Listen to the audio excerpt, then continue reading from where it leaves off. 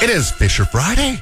Bob's here. Bob. No, it's not. Yes, it is. It is? It is a Fisher Friday, Bob. Believe it or not. I don't believe it. Oh, well, uh, Bob Fisher, esteemed news director, uh, joins us each and every. Wow. Uh, Using those big words there. yeah. Oh, we're going to be using more big words later on, Bob. Oh, we are? Yeah. Coming up after nine, I'm going to quiz you on the most commonly misspelled words and see if you, Who's the grammar Nazi in the building? Yes. You know, the spelling Nazi in the building. Yeah, if if there was if there was a, a thing where like uh, you know aliens attack and um, you know unless you spell this word right, we're blowing up Earth. I'd rather have you than me tasked with that. All right. Yeah. Be a weird Whatever- situation. Whatever the heck that means. Uh, I don't know. Bob, I heard uh, on the news, uh, the award-winning news uh, the other day that texting is now going to be even more illegal. well, Possibly.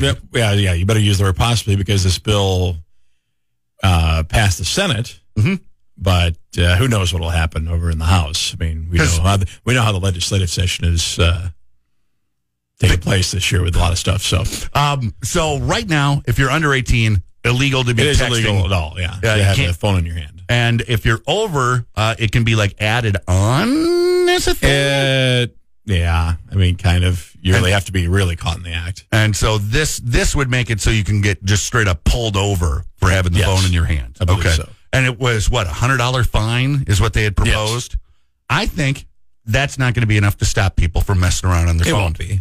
I don't. I think you need to be more drastic, more drastic with your punishment. What are we going to go draconian and Well, yeah, cut no. arms off? Or? No, not arms, thumbs, Okay. and not cut off, but just like you know, bruise. Take a hammer to it and put it out of place for a while, or yeah, what? like uh, have you ever seen the movie Casino? You know when they catch the guy cheating, bring him in the back room. yeah, I've I've seen that. There's other parts of the movie in Casino where things are a little bit more drastic and and whatnot. Stuff. I mean, not uh, not full Joe Pesci on the situation, but like fifty percent Joe Pesci. now would that be cruel and unusual punishment? I mean, if you know the drill, if you know the deal, you'd have to put up uh, signs at every entrance to every street that says, if you're using your phone while you are driving, your thumbs are at risk. Like if people know the risk and still choose Okay. to break the law, but I'm just saying, like a hundred bucks, that's not going to stop people. The threat of their thumbs being incapacitated, that's going to stop people. Well, Joe's uh, ramping up here for his legislative campaign, obviously here soon. So Now watch watch them watch them get wind of this. Put that in there, and uh, everybody will be like, see, they would have. To "I'm go, all in now." but then Yeah. would have to go back to the Senate, and who knows what they would do. So Just the thought. Don't don't text and drive. right, Don't, don't just don't do that. Uh, Bob, coming up, say it or sing it. yeah. Okay. Who's And, going first? Uh, you're going to guess first. All right. You're going to guess first. Your question is, or your category is hot, hot, hot. Okay. Ah, the top Buster Poindexter songs of all time. No, I'm kidding. Uh, or sing it's coming up. We're saying, we're singing, we're doing it all right here on Fisher Friday on the Joe Show. All right. It sing it time, Bob. Uh, we've got uh, a game show where the winner wins, the loser sings. We have a category. There are 10 acceptable answers in each category. We take turns. That's how the game is played. Uh, 30 seconds on the clock to answer. Bob, your category, hot, Yes. hot, hot. What do you think it is? Spicy foods. Ooh, that's very intuitive. Not right, but very Okay. intuitive. Thank you. Um, stuff that can burn you. Stuff Like that can burn you. Objects, items, uh, situations they can burn you. that can burn you. 30 seconds on the clock. Go. How about the sun? How about hot water? How about a uh, pan or a kettle or anything that's been on the stove, frying pan or a pot or a kettle or whatever? Uh, how about a uh, hot engine? How about uh, uh, acid could burn you? Mm. Hmm. Okay. Um. Uh, uh, lights. Um. I'm obviously missing Time. some. As time runs out. Wait, lights. Explain that answer. Uh, like if you're in a uh, Suntan Tanning booth? bed, yeah. Okay. Okay. Yeah, I, I can Thank see you. that. I can see that. Uh, you got three. You got three. what I get? You got sun. Yeah. Very good right there. Uh, iron. I gave you iron. Sure, thanks. Um, Appreciate it. why did I give you iron? I don't know, but you gave it to me, so it's too late now. So I was I was thinking I no, was thinking ahead. like no, a please, teapot, no, please, please, please, please, please move, move along. I've gotten That's fine. three, so And then you said hot water. I gave you steam. Because steam is technically hot water. really hot water. You missed curling iron. Curling. Ah. But why would you guess that? I don't know. Yeah. Oven. You missed. I said stove. Okay, so that replaces iron. No, I got four now. Okay, fine, whatever. I feel confident. I'll give you four. I don't even know what my category is, but I'm confident. Matches will burn you. Yeah, that's true. Cigar, embers, and not the restaurant. um, a, a grill, and Now I'm hungry for a steak. and eggs. steak and eggs. Yes, exactly. So I'm hungry for steak and eggs all of a sudden. Uh, a grill will burn you, and finally a slide. A slide. Yeah, you get you get one of the metal yeah. slides And, in July. yeah, yes, Woo! it's a good one. Those yeah, that'll that'll warm your uh, Um, the the back of your knees Sure. up real quick. you Yeah. speaking from experience? I am. You were sliding the other day before we got snow, or Um, I did not go down the slide. Okay. Uh, I did swing a little bit, and then I was also the lava monster. So, the lava monster? yeah, busy day at the playground. Wow. Uh. so we're gonna go from the hot to the cold. Hot to the cold. All right, we'll see if I can heat up the scoreboard with round two of Say It or Sing It on Earth. Uh, not necessarily. Okay, coldest places, Um, Earth. Coldest planets in the solar system. your office. My That's, like, office. that's one of the coldest places. Yeah. Oh man, get that Uh, window usually, open. that's usually you say you say that to me typically. All right. Uh, things in a freezer. Things in a freezer. Yes. Okay, in a normal person's home or a serial killer's? Um, I think that's a fair this list. question. Look at this list. Uh, No body I parts. think I think I think you better open up your mind. Okay, all right. Oh, by the way, the Yes? song "Ants Go Marching In" is what uh, the loser will be singing. Uh, ants go marching In. Ants in. go marching in. Yeah, ants go marching in. Ba-dip-ba-doo, do that one. All right. Your your your your mind is warped. Let's go. 30 seconds. Uh, things in the freezer ice cream, ice cubes, pizza, frozen pizzas in the freezer. You're going to find uh, leftovers. Lefse uh, is a thing in the freezer. Lefse. Yeah. Uh, well, a head. We'll just throw that out there. What? Uh, oh, what? what? What? popsicles. Um, What? You're also going to find uh, chicken nuggets, French fries, hot pockets, um, other things in a freezer, uh, frozen concentrated juice. Oh, Um, what else would be in there? That's time. my uh, exclamation there was because that gave you five. Woo! All right. Yes. I told you I was going to be hot, You got frozen juice. Yep. Get ice cream, ice cubes, frozen pizza, and leftovers. Love it. You did not get frost. Oh, yeah. You did not get frozen waffles. Mm. You did not get uh, frozen vegetables. Nope. Uh, even though this says meat, that is not a head. So Okay. in your normal world, uh, and then bread. Okay. Bre- oh, bread in the freezer? Yeah. Do you freeze your bread? Uh, I don't, but I, I know several people that do because it. Like an active loaf that they're eating? Well, I mean, it's Or do you buy like several and then just put some in the freezer? well. There's several different answers to this. Uh, you can buy like some frozen toast type bread and Oh, you know make it. okay. Uh, some people, you know, don't go through a loaf like your family does through a very short period of time. Well, bread's delicious. Well, yeah. Some of us don't like consume a whole loaf within a period of time Okay. that like you do. So, All right, Bob, you got to march on over here. oh, do I? You do? Yep. Ants go marching one by one. Hurrah. Hurrah! Hurrah. You ready? No,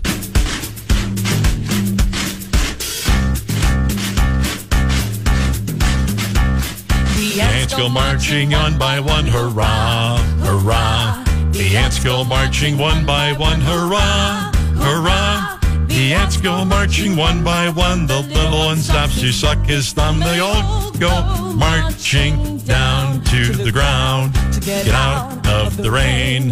Boom, boom, boom, boom. Ah, there we go. Continuing our month of March, marching songs. What are we going to have to pull out of our hat for next week, Bob? we'll have to tune in and find out. Coming up, Feel Good Friday, and uh, we're putting Bob's spelling to the test.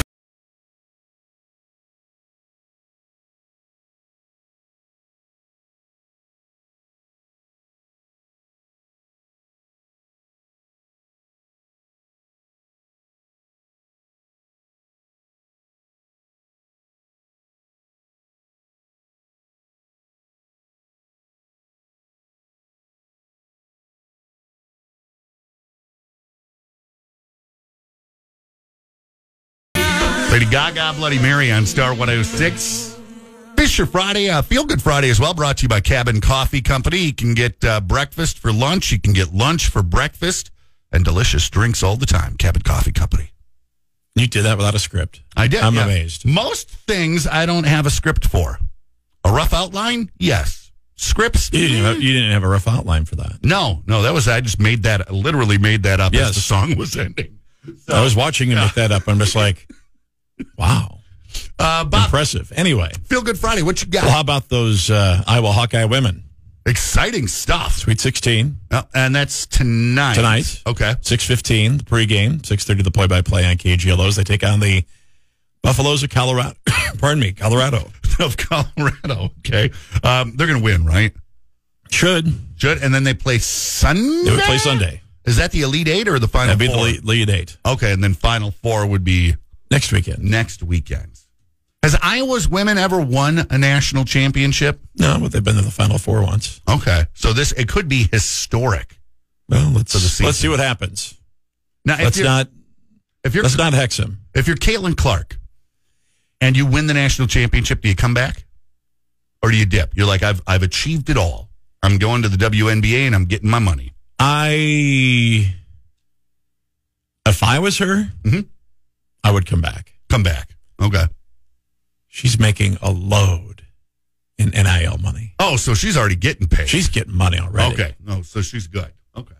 Uh, my feel good Friday, Bob. Uh, we had coaches meeting last night for uh, the soccer season, which is just just games are- Supposedly, supposedly around the corner, even Yeah. though it's you know snowing this week and everything. Yeah.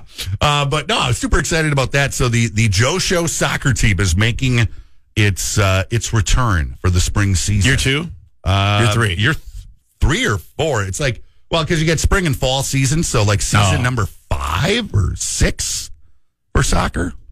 But Sure. very, very exciting. Happy to be coaching again. Happy to be sponsoring again uh, for Park and Rec Soccer. So wonderful uh, we we got some tactics this year, Bob. tactics. Tactics because because we're older Yes, because we're wiser. Let me just uh, you, to, to anybody else, you know, any of the other coaches that may be listening right now, we're coming. no mercy. These girls, yeah, that sounds that really sounds like Park and Rec soccer, folks, doesn't it? these these girls are all about scoring goals and taking names. We gonna gonna see the yellow card come out a lot, or I don't know. I don't. You know You're what? making you're making it sound like the yellow card's coming. I out. should I should email Penny and uh, be like, is the, do the refs carry a yellow card because you might need it this season because we're coming no. hard. Don't say that. Don't say that. No, no, we'll play fair. We'll teach them the right way. Right. Yeah, but no, I'm excited. It's it's fun, and uh, the best part is both my girls on the same team, so that it's not Oh, so you don't have double to double. yeah, right. stuff. Right. you Good. know? So Good. As much as I love being involved with youth sports, you know, there becomes a point where it's like, oh, this is too much. Makes it a little easier. So, uh, Bob, coming up, Yes. we're putting your spelling right. to the test. These are the most commonly Googled words to try and figure out how to spell them. Can Bob do it without his phone? saying that. So. I, yeah, I'm just I'm buttering you up. I I believe. I believe I am. Yeah. I mean, Uh, what I have here, according to Google searches, these are the top words people can't spell. Okay. And Google is basically my spell check when I don't know how to spell a word. eh, just throw it into Google, boom, get the right answer. Hopefully, you know, you got to Yes. trust it. So, first word, Bob. Uh, this this um, gets Googled ninety five thousand times a month. People trying to make sure that they spell it right. Restaurant, restaurant. R E S T A U R A N T. Correct, Thank Bob. you. There we go. Pneumonia. Pneumonia. P N E U M O N I A. Correct, Bob. That's two for two. Appreciates. A P P R E C I A T E. That is right. Uh, people often forget how many P's there are and if it's a C or an S. So, receipt. Receipt.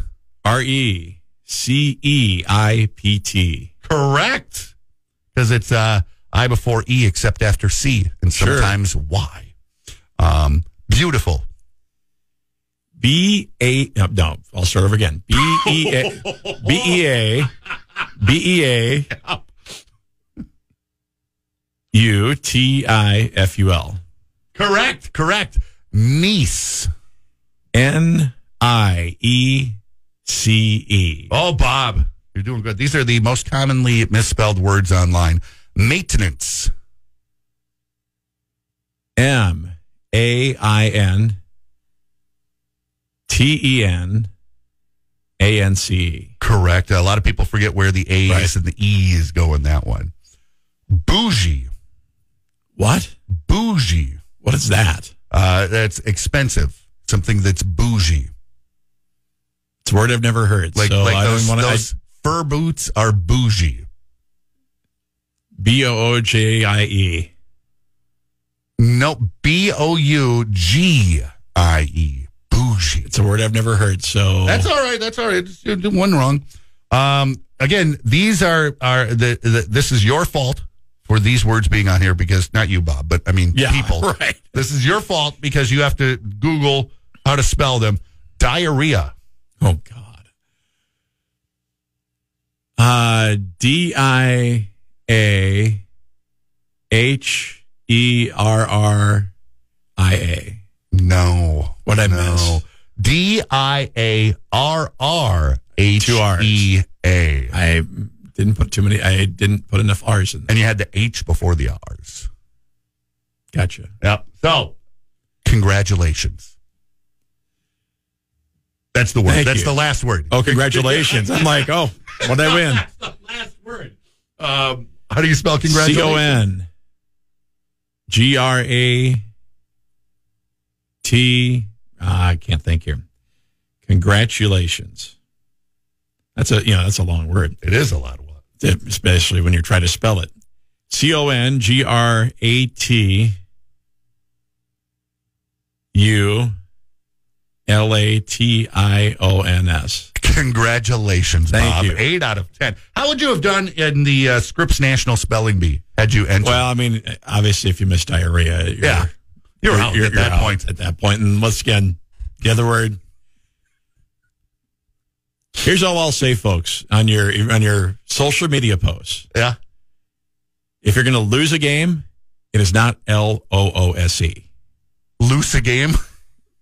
You know how many people I've at times I've seen. You know, I, yeah, I yeah, they're going to lose. They're no, gonna- they're not going to lose. They're going to lose. Yeah. And stop abusing your apostrophes. Not every word that ends in S has an apostrophe. Only if it's possessive. Correct. And what about commas, Bob? What angers you about comma usage? Well, are you an Oxford comma guy or not?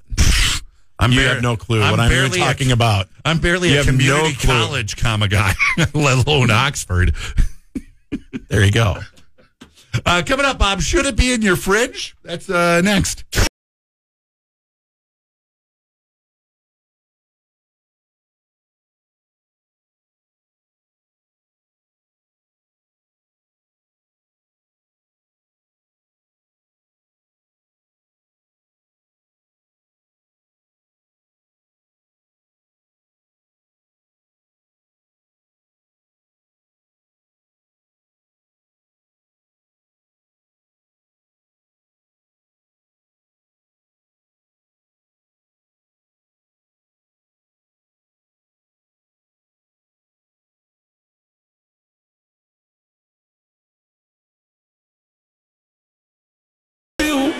Bob, where do you keep your peanut butter?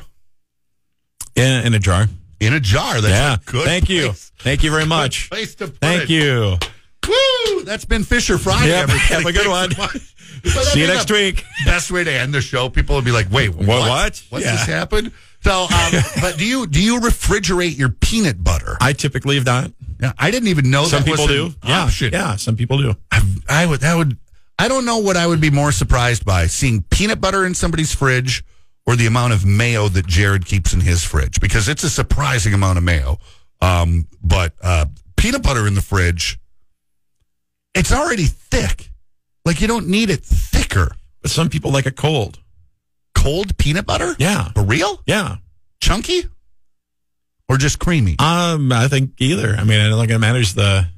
Interesting. I would rather rather have it hot. You would think, like some, Hot as in what? like you get like you're not heating up the peanut butter before you do stuff with it. I'm talking about like you get some fresh toast and you put the Yeah, but it's not there. hot. I mean, you're not like storing it. You're not like warming it up in the microwave before you put it on your toast. No, that's dirty in too many dishes, Bob. I Can't be doing that. whatever. But I mean, no. But some people like peanut butter cold. Hmm. Thirteen percent of It's like some people like ketchup. Gross. I know you don't like ketchup. gross. Um, 77% of people keep their butter in the fridge. I used to be Twenty three percent do not. Yeah, I used to be a butter in the fridge all the time guy. Now it's just the unactivated sticks of butter that stay in the fridge. The unactivated sticks of butter. Yeah, the the uh, the unwrapped sticks of butter. unactivated.